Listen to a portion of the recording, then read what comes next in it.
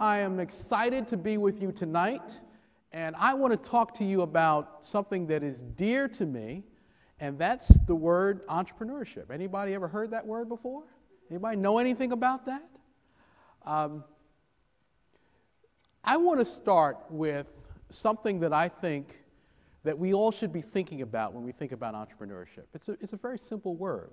We talk about it a lot, we hear it a lot, but we don't always understand fully what it means. And that word is opportunity.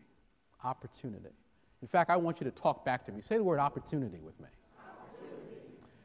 You see, opportunity is an interesting word because most people think that someone gives you an opportunity. That's what most people think.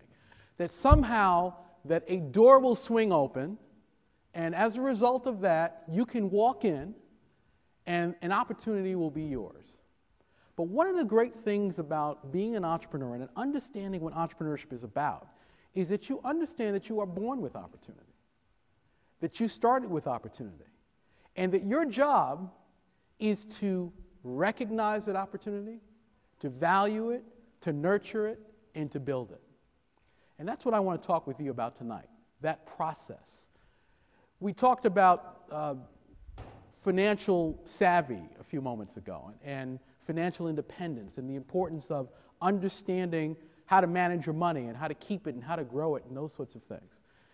And I have to tell you that as an entrepreneur, one of the things that you will encounter is that at first it seems like you've made a bad decision. Anyone, anyone ever experienced that as entrepreneurs? You think for a moment, like, wait a minute, I'm supposed to be making more money doing this. I'm supposed to be in control of my future. And to some people around you, it might look like you've made a bad decision. But the real power of entrepreneurship is not just the financial promise, which will come, which will happen, but it's what the process does to you. It's what it does to you. And I want to talk to you about the power of opportunity, not only in the context of what happens in the market, and your products and your services, but what it does to you. You see, there are a lot of people who are, are under uh, hypnosis. They're walking through life and they're doing certain things because they've been told that those things are necessary to be successful. Now, we need a lot of people in our society to be successful. So, we need people with jobs. And we need people to do all kinds of, of uh, have all kinds of roles and responsibilities. But a job isn't for everybody. There are some people that are created to create jobs. And I want you to understand that that might just be you.